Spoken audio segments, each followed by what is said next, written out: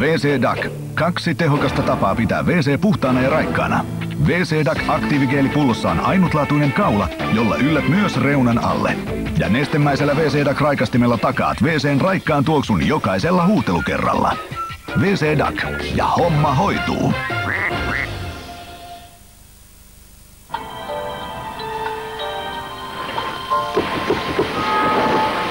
Pyystäisittekö Kivelän kadun huoltamon henkilökunnalle?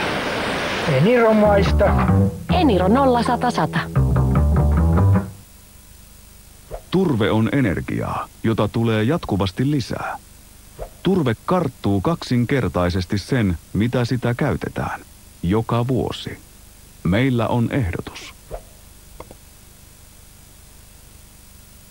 Suomela. Suomen suurin asumisen rakentamisen ja puutarhan lehti jaetaan nyt kaikkiin pientaloihin ilmaiseksi. Tee talollesi helposti uusia kestävä sokkeli Steeni sokkelilevyllä. Nyt se on täällä. Tehokkain IVT Nordic Inverter ilmalämpöpumppu.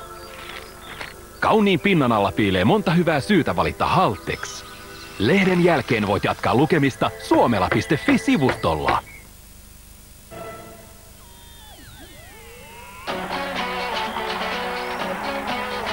Puuttuuko kännykästäsi X-Factoria?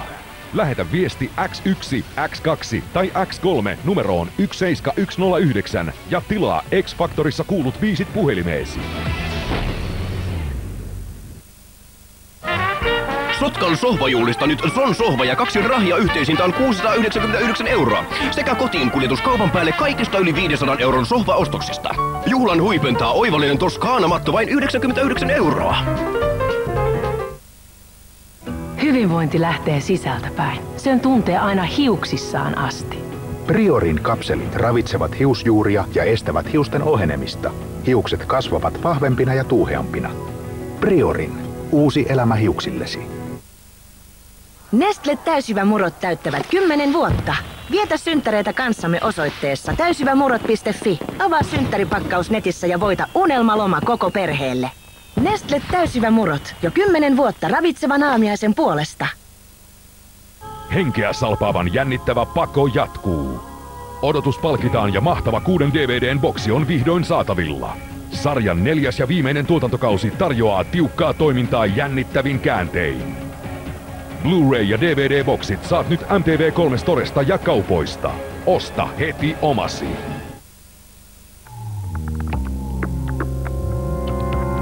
Leiraksen Somat Control on ensimmäinen ilman reseptiä saatava valmiste, joka vaikuttaa suoraan mahan happopumpun toimintaan. Kysy lisää apteekista tai tutustu netissä.